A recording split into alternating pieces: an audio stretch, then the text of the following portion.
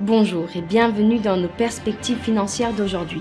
Rejoignez-nous aujourd'hui pour notre analyse du monde financier, des derniers événements, des dernières informations sur les marchés. Thomas va nous aider aujourd'hui depuis la salle des marchés.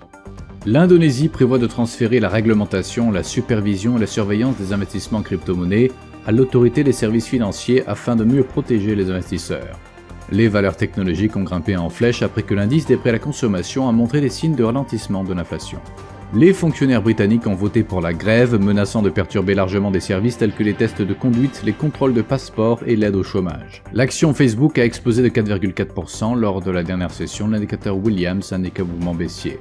La paire euro-dollar a explosé de 1,8% lors de la dernière session, l'indicateur oscillateur ultime d'un signal baissier, ce qui correspond à notre analyse technique globale.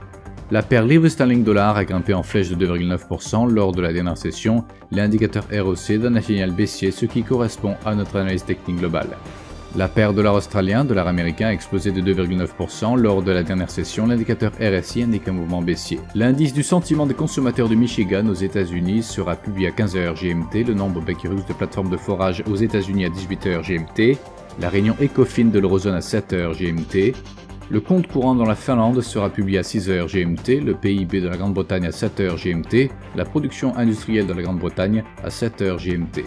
Nous espérons que vous avez apprécié nos perspectives du marché d'aujourd'hui. De la part de toute l'équipe, nous vous souhaitons une journée de trading productive. N'oubliez pas de, nous rejoindre la prochaine fois pour toutes nos analyses des derniers événements et nouvelles sur les marchés financiers.